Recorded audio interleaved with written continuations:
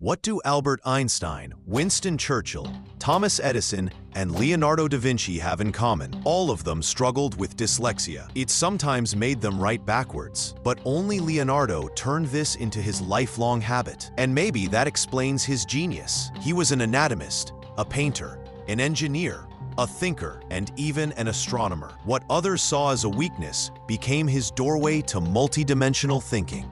His true legacy was not just the Mona Lisa or the Last Supper. Leonardo left around 13,000 pages of notebooks. Only about 7,000 survived. The rest are lost forever. Today, his notebooks are scattered around the world.